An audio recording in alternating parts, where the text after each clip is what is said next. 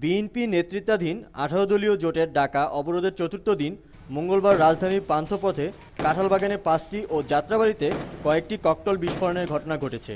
এ ঘটনায় মঙ্গলবার পান্থপথের কাঁঠালবাগান এলাকার শিবিরের ঝটিকা মিছিল থেকে একজনকে আটক করেছে পুলিশ। এদিকে সকালে রাজধানীর বিভিন্ন স্থানে আঠারো দলীয় জোট ও জামাত শিবিরের নেতাকর্মীরা খণ্ড খণ্ড মিছিল বের করে।